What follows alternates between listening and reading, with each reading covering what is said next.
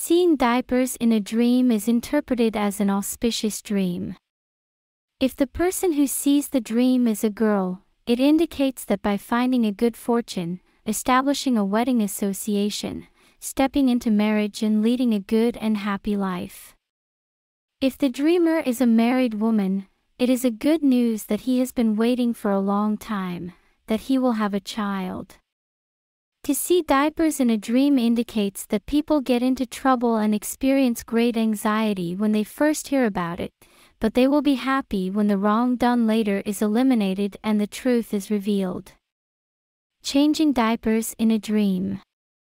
Changing diapers in a dream means that the person who sees the dream in his business and family life will produce absurd and useless solutions to the problems he encounters, and therefore his efforts and efforts will be wasted.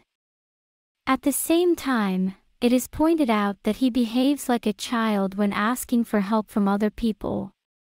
Buying diapers in a dream. To see of buying diapers in a dream indicates that the person who sees the dream should find and use different working methods for his work and family life. Seeing dirty diapers in a dream. Seeing dirty diapers in a dream means that the dreamer will have great troubles in his family and social life, experience deep and big problems and suffer because of a big secret hidden in his past. Seeing a zib in a dream. To see a t-shirt in your dream indicates that an expected news or message will come as soon as possible and very good works will be done. Getting a bodysuit in a dream.